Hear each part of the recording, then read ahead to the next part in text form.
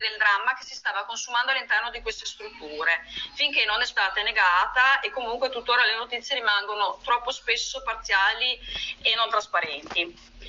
Eh, ad esempio le richieste di informazioni da parte dei familiari, anche molto generiche relative a eventuali casi Covid all'interno delle strutture, veniva spe- venivano spesso frapposte inconsistenti questioni di privacy, laddove la necessità di tutela del diritto alla salute e alla sicurezza deve essere il compito primario delle RSA e delle CRA. Anche sulle reali condizioni di salute dei nostri cari in generale vi è stata molto spesso poca trasparenza. Constatiamo infatti, anche in base alle cartelle cliniche che abbiamo recuperato, che queste sono state frequentemente taciute o minimizzate le condizioni quindi dei nostri cari fino al grave peggioramento.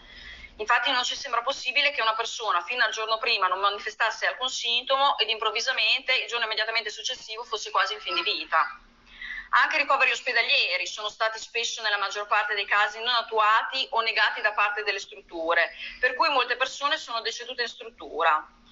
All'interno med- di una medesima struttura abbiamo pazienti a cui è stato concesso su sollecitazione insistente dei familiari il ricovero in ospedale pur con esito fatale, anche perché arrivavano in condizioni ormai troppo gravi e spesso di incuria, come disidratati o denutriti, e pazienti deceduti nella maggior parte dei casi all'interno della struttura. Ci sono anche all'interno del, comitato, del nostro comitato casi di dimissione di pazienti in piena emergenza sanitaria da parte degli ospedali verso le strutture, in assenza molto probabilmente di tutte le accortezze affinché ciò potesse avvenire in completa sicurezza. Poi ancora casi di trasferimenti di pazienti Covid positivi da una CRA ad un'altra CRA con contagi, senza che il personale di quest'ultima e i familiari degli ospiti ancora all'interno della stessa struttura fossero informati di tale scelta. Questo in un momento in cui già si parlava di pressione allentata all'interno degli ospedali. Infatti ci si chiede perché non trasferire tali pazienti invece che tra una CRA o un'altra negli ospedali. Anche perché ci risulta che alcuni di questi pazienti trasferiti da una CRA all'altra siano deceduti all'interno della CRA in cui sono stati trasferiti. Quindi paradossalmente in alcuni casi ci troviamo davanti a ingressi in struttura negati ai familiari degli ospiti, giustamente a causa dell'emergenza sanitaria, a fronte di ingressi di pazienti e ospiti anche possibilmente Covid positivi dentro queste strutture. Quindi mentre i familiari dovevano restare fuori, entravano comunque degli ospiti, spesso mh, magari anche positivi, già, già positivi al Covid. All'interno del comitato abbiamo familiari con entrambi i genitori deceduti, che erano ospiti nella medesima struttura, quindi persone che hanno perso tutti e due i genitori e familiari che testimoniano di cari sopravvissuti ma in condizioni di grave incuria, quale malnutrizione, denutrizione e disidratazione per via della carenza di personale all'interno di queste strutture tra operatori infettati e deceduti e operatori che si sono dimessi a causa delle condizioni in cui sono stati costretti a lavorare, perché abbiamo anche testimonianze di questo tipo, di operatori costretti a dimettersi viste le condizioni in cui erano costretti a prestare servizio. Come obiettivi del Comitato ci siamo posti la ricerca della verità, di chiarezza e di giustizia su quanto accaduto e abbiamo deciso di utilizzare le nostre esperienze in maniera costruttiva affinché ciò che è accaduto non avvenga mai più.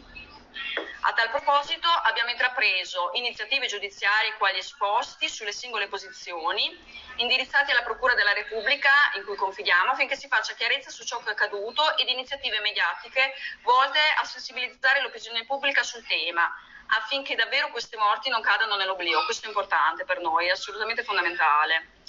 In seguito a questi esposti eh, che abbiamo fatto e che continuiamo comunque a fare, sono stati avviati in controlli dei NAS all'interno delle strutture e di anche altri organi competenti e sono state avviate le indagini riteniamo fondamentale ed imprescindibile come familiari, questo è un punto su cui eh, non transigiamo, la collaborazione e la solidarietà con gli operatori delle strutture, i quali hanno pagato a nostro avviso un prezzo troppo elevato. Eh, poi volevo informare appunto che il comitato è sempre disponibile, anzi più che disponibile, è pronto ad accogliere nuovi membri e eh, nuove esperienze. Grazie.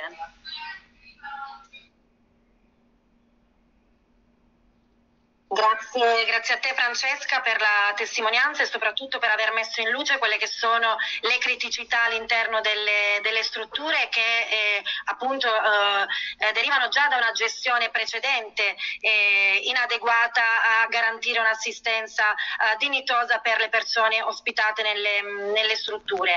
io io lascio subito la parola uh, a Virna, uh, referente dei familiari di, eh, dei pazienti di Bologna. Virna, ci senti? Sì, ci sono, mi sono dovuta collegare al cellulare perché non funzionava. E buongiorno, sono Virna Brindisi e sono la figlia di Giovanni che è deceduto due settimane fa per Covid come tanti altri anziani ricoverati presso la